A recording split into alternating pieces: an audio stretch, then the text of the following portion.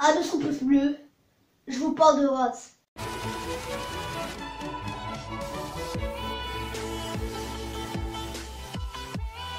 Salut tout le monde, j'espère que vous allez bien. Alors on se capte pour l'épisode 2 des origines. Dans cette vidéo, je vais vous parler des origines du Condor. Et pour ne pas vous faire euh, spoiler, regardez l'épisode 1 où je vous parle de Lexa. Euh, car Condor, il a une relation hyper importante avec Lexa. Regardez l'épisode 1 pour, euh, pour, que vous compreniez mieux cette histoire. Car si vous venez directement voir cette histoire, vous n'allez pas comprendre. Regardez l'épisode 1, c'est juste euh, pour que vous compreniez cette vidéo. Mais bref, explosez-moi la barre de pouce bleu. Abonne-toi si je n'es pas encore abonné. Et voilà, on passe à la vidéo.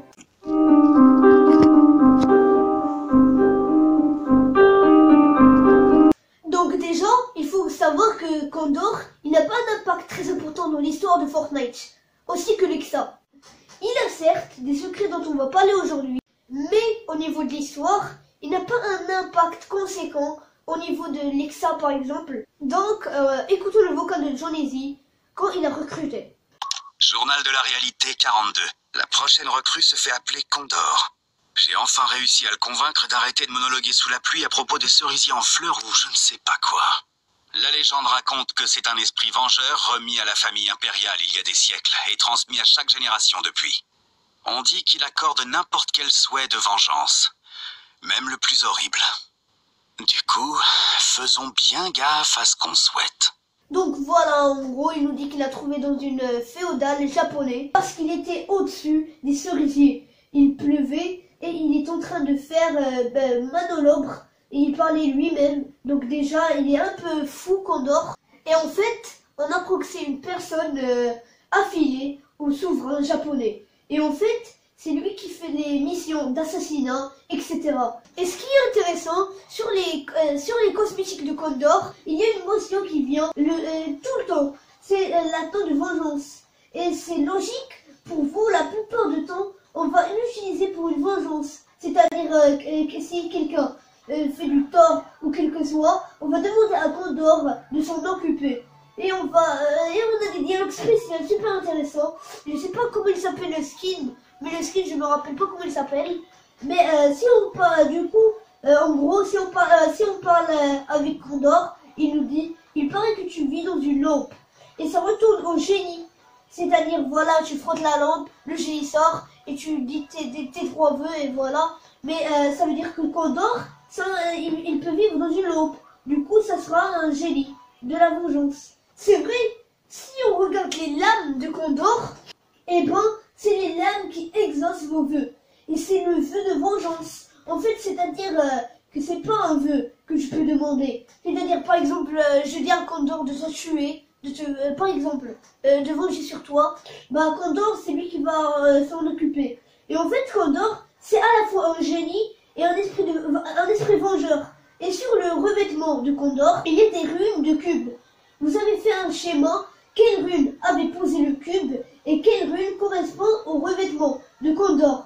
Mais le truc qui est vraiment important, euh, j'ai fait dans la première vidéo quand je vous parle de Lexa, quand Condor parle avec Lexa, Condor dit Alexa, Condor dit Alexa, c'est pas Lexa qui dit à Condor, c'est sûr que vous nous cachez quelque chose, Lexa.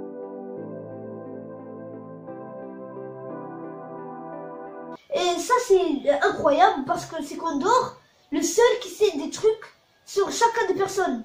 Ça veut dire c'est lui le seul qui est en courant que Lexa cache quelque chose.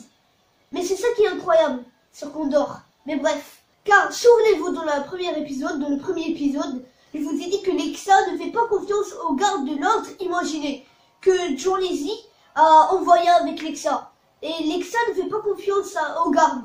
C'est pour cela. Et l'objectif de Lexa est de faire euh, confiance aux gardes. Mais elle, elle ne fait pas confiance. C'est ça le problème. Et Condor, il sait un peu tout sur tout le monde.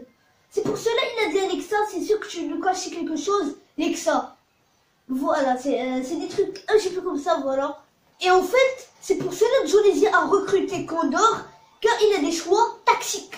Ça veut dire, pour moi, il a un intrus ou un imposteur entre les chasseurs. Et pour moi, Lexa est une infiltratrice pour Jonesy. Elle veut voir euh, qu'est-ce qu'elle veut faire, euh, il, il entre dans plusieurs réalités, il veut voir c'est quoi ses plans, qu'est-ce qu'il veut faire, et voilà. Et euh, Lexa ne fait pas confiance aux gardes et elle est contre Jonesy car elle fait parmi des sept. Et s'il y a un problème entre les chasseurs, souvenez-vous, Jonesy va pas chercher Condor, il va faire un vœu. Et Condor peut venger sur Lexa. Et en fait, euh, dans la fin de, de Fortnite, euh, dans la saison prochaine, euh, dans le proche, euh, dans la prochaine saison, il, euh, chaque chaque chasseur va choisir son clan. Soit il va choisir euh, parmi, il va être parmi les sept ou parmi Jonesy. Il y aura une guerre entre tous les chasseurs.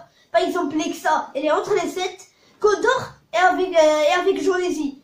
Et voilà, il y aura une petite bagarre, voilà, une petite guerre comme ça. Voilà, c'est tout ce que j'ai remarqué sur l'histoire de Fortnite. Et voilà, si vous aimez, si vous avez la même théorie que moi, n'hésite pas à t'abonner. Ex- Explose-moi la barre de pouces bleus. Si j'atteins les 250 pouces bleus, je vous parle de grâce. Et voilà, les amis, notre vidéo touche à sa fin. J'espère que cette vidéo vous plaît. C'est-à-dire mettez un maximum de pouces bleus et abonnez-vous. Et euh, je vous dis à la prochaine. Peace out.